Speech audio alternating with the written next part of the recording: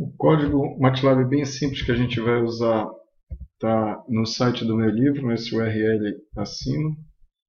E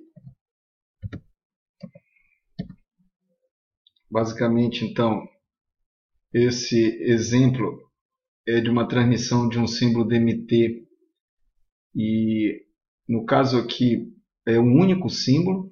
A gente assume que o, o canal estava inicialmente relaxado. Isso porque a transmissão de vários símbolos faz com que o canal, por ter memória, a saída dele ao símbolo atual dependa eventualmente de símbolos passados. Mas aqui, para simplificar, então, esse canal está tá relaxado e o número de FFT, é, de pontos da FFT, o, o comprimento dela é apenas 4. Vou fazer um exemplo bem pequenininho. Então, antes da gente o detalhe, vamos só executar e olhar aqui o resultado. Basicamente, se eu comparar o vetor x de k com o vetor z de k, dá para perceber que eles são idênticos. Ou seja, esse é o, o símbolos QAM que eu coloquei na entrada e aqui é na saída que eu estou obtendo. Então, é óbvio que aí está tudo funcionando bem, a gente vai agora buscar passo a passo entender o que está acontecendo. Então, a resposta ao impulso ela é basicamente composta por apenas três valores. Esse daqui está representando o instante n igual a zero. Esse é o valor do, da resposta no instante n igual a 1, n igual a 2. Então é uma resposta impulso é, de bem curta duração. Se a gente plotasse ela, é, seria. É, a gente está verificando uma, uma situação assim de apenas três valores, né, onde esse valor aqui, para ser mais correta a visualização, MATLAB inicia o índice 1, mas a gente estaria indicando mais corretamente que esse é o primeiro elemento, é n igual a zero. Então a dispersão desse canal ela é de duas amostras, porque eu tenho aqui o 1 e o 2. Então essa dispersão ela vai impactar na escolha do tamanho do nosso é, prefixo cíclico. Então, para uma dispersão de duas amostras, a gente no mínimo vai ter que usar um prefixo cíclico com uma duração de duas amostras. Pois bem, antes de começar a simulação propriamente dita, eu preciso dos valores h de k para usar a equação fundamental da DMT. Lembre que o y é o h vezes o x.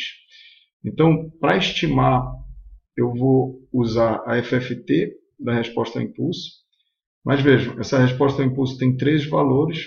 Então, se eu simplesmente usasse dessa forma, a sintaxe fosse eu teria calculado uma FFT de 3 pontos. Ora, no código eu estou usando uma FFT de 4 pontos, então o espaçamento entre a, a, os tons de, de, frequência é dado por uma FFT de 4 pontos. Eu estou fazendo, é, no caso da estimativa do canal, eu tenho que estimar nessas mesmas frequências, então eu tenho que impor que sejam 4 pontos nessa FFT que estima o canal, ou seja, eu tenho que colocar aqui um 4 eu poder ter esses valores que estão sendo, por exemplo, esse é o valor do nível DC, esse é o valor do primeiro tom, esse é o valor do segundo tom, que no caso aqui é a frequência de Next, e esse aqui é o complexo conjugado do primeiro. Então o importante aqui é que esse N force a FFT a calcular a DTFT nos valores corretos. Bem, ainda como preparativo, a gente está assumindo que o receptor tem um conhecimento perfeito é, desse canal. Na prática, o canal tipicamente tem que ser estimado, e há um erro nessa estimação. Mas assumindo uma estimação perfeita, o receptor, para retirar o efeito do canal, ele pode simplesmente fazer o inverso que o canal é, fez. Então, por exemplo, se o H de K em um determinado tom tem um valor 3, ou seja, o canal multiplicou por 3 o valor de entrada, então equalizar seria multiplicar por um terço. E se aqui é um número complexo, não tem problema. A equalização é basicamente 1 sobre esse número complexo. Bem, então agora, depois dessa linha 5, nós estamos prontos para fazer a simulação propriamente dita a partir do, da linha 6. Então aqui a gente tem é, o símbolo que é n. Lembre que isso são os quatro é, é, valores, mas eu tenho é, meu grau de liberdade é restrito à determinação desses três valores, com esses que seriam DC e Nike tendo que ser números reais. Então aqui, por exemplo, eu posso colocar, se eu quiser é, brincar 6, eu posso botar menos 3, mas eu não posso botar números complexos nesses dois. E aqui então é qualquer número complexo, desde que eu faça a simetria hermitiana aqui. Então, é, basicamente, o que vem para cá, né, no caso aqui é só um tom, é, na verdade eu não tenho grau de liberdade, porque é, eu basicamente tenho que repetir, fazer o complexo conjugado desse. Bem, uma vez então estabelecido os símbolos que vieram das constelações que QAM utilizadas, eu estou pronto para fazer a modulação através da IFFT. Aqui é só um fator, porque no MATLAB a FFT não é ortonormal, ou seja, ela não preserva a norma do vetores de saída, não é a norma do vetor de entrada, mas através desse fator de escala eu posso fazer então que a norma desse vetor seja igualzinha à norma do vetor de entrada. Ou seja, isso representaria a energia né, do sinal, é, na verdade, a, a raiz quadrada dessa energia, mas para quem já estudou o teorema de Parseval, o que eu estou fazendo aqui é só impor que o teorema de Parseval seja respeitado e a energia no domínio do tempo seja conservada no domínio da frequência e vice-versa. Então, aqui na, na IFFT vai aparecer esse fator multiplicando e aqui na linha 11 vai aparecer um fator dividindo.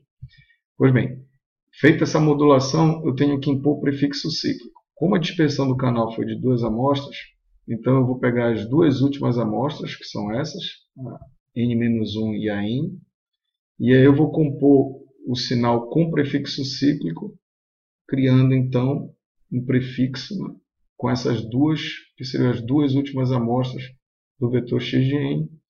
E agora então eu posso convoluir essa, que seria a sequência representando o sinal com prefixo cíclico adicionado, com a resposta ao impulso do canal esse vetor, então, eu preciso agora extrair a, o prefixo cíclico. E aí, como eu sei que a dispersão foi de 2, o prefixo cíclico que eu escolhi também foi de 2, eu sei que as duas primeiras amostras não é, são nada mais do que as, digamos assim, respostas a essas duas primeiras, eu posso extrair pegando a partir da terceira. Então, as quatro, a partir da terceira, me dão o meu vetor no domínio do tempo, que pode ser transformado para o domínio da frequência através da FFT, de novo, uma FFT ortonormal. E aqui é feita então a equalização, multiplicando cada um desses elementos pelo que eu obtive aqui no FEC, através da inversão da resposta em frequência do canal.